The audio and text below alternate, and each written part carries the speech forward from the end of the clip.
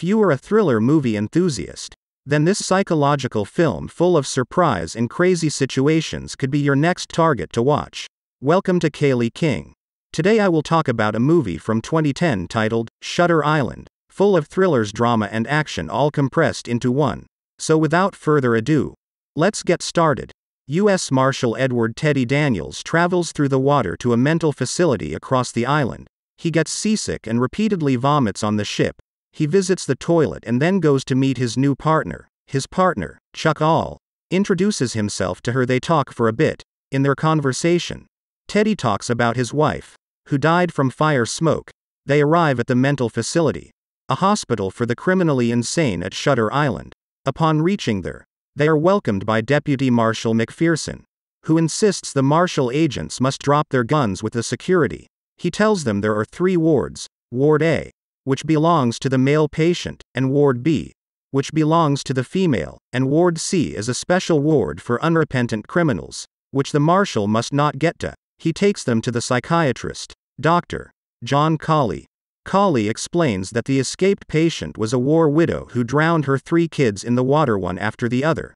The patient, Rachel Solando, drowned her kids, kept their corpses by the kitchen table, and even ate beside them. Throughout her stay in the facility, she never believed her children were dead, and she never accepted she was at a facility. She created a world for herself where she saw all the workers at the facility as her maids. As Teddy hears the story, he gets a migraine and asks Cawley for drugs. They go to check Rachel's room, and the doctor insists Rachel was brought into the room the night before.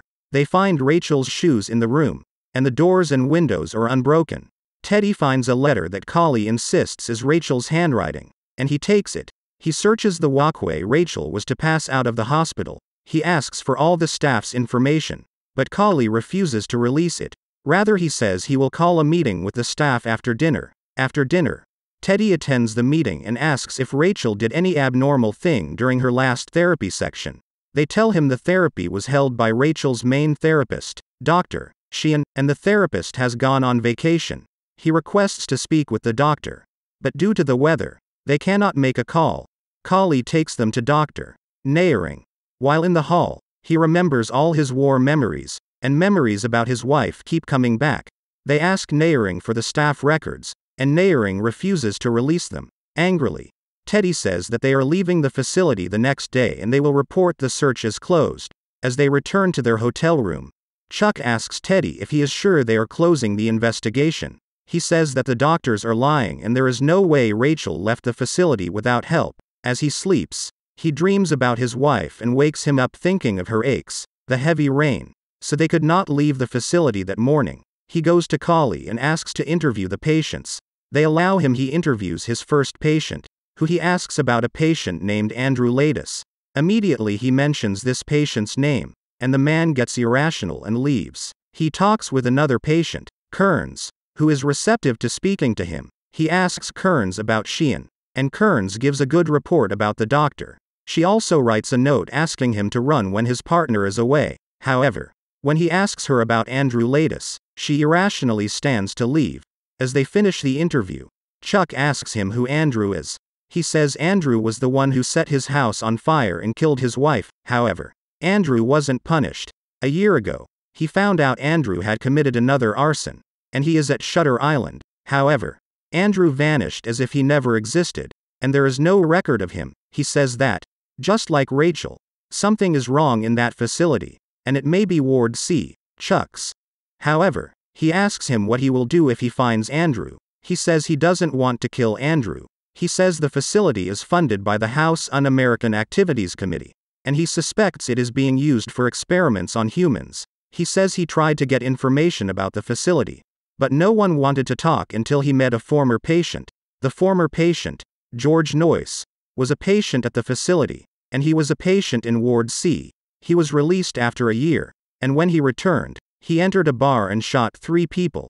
The lawyer attempts to plead insanity, but he refuses. He begs the judge that he would prefer to die than return to any facility center. He meets George at the prison, and he hears from George that they are using them for experiments at the facility. He says coming to the facility is an opportunity. But Chucks asks him if he is sure it isn't a trap.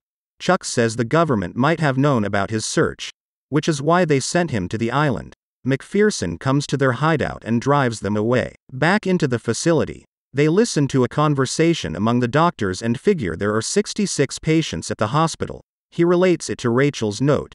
But Cawley tells him Rachel is back. He interviews Rachel, who mistakes him to be her dead husband, and attacks him. Teddy remembers his war memories, develops migraines, uses drugs, and sleeps. He gets several horrible nightmares. As he awakes, the flooding has affected the facility's electricity.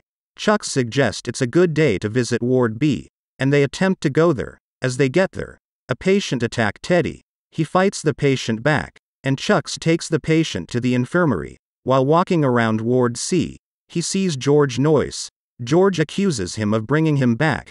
He says he is back because the government knows all of Teddy's activities, and Teddy will never leave the island alive.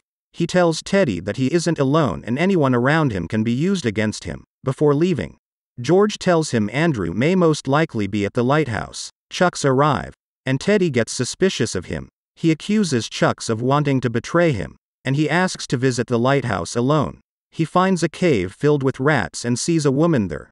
He recognizes her to be the real Rachel. Rachel says she was never married, nor did she have a child. However, she was a former doctor on the island. She notices they are manipulating the patient's brain on the island and speaks out, turning her into a crazy person. She tells Teddy they won't let him leave. She asks if he has taken any drug, food, or cigarette from the collie, and he replies affirmatively. She informs him they will use his trauma against him and turn him into a patient. She tells him about the activities at the lighthouse and how they experiment on human brains. She tells him there is no way he will leave the facility as the facility controls all the ferries. He returns to the facility where he meets Cawley. He asks Cawley about his partner. But Cawley says he has no partner. He goes to have his bath. And as he is about to leave, Naehring tries to sedate him. He overpowers Naehring, escapes from the facility, and tries to get to the lighthouse. Upon getting there, he meets Cawley and doesn't see any other patients. Cawley tells him he is delusional. He says no Andrew exists, and he is, in fact, the Andrew that killed his wife after his battle trauma. Cawley calls in Chucks, who is, in fact, Dr. Sheehan. He claims to be Teddy's doctor for about two years. Teddy finds his gun and attempts to shoot at them.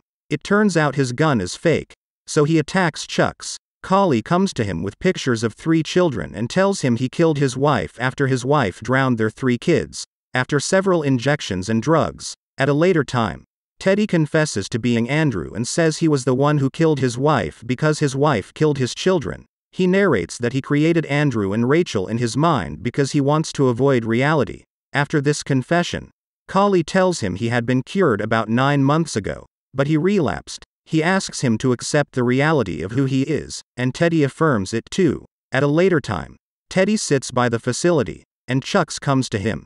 He asks Chucks when they will leave the island, and they admit they are smarter than the doctors. Ending the movie, he asks Chucks which is better between living as a monster or die as a good man.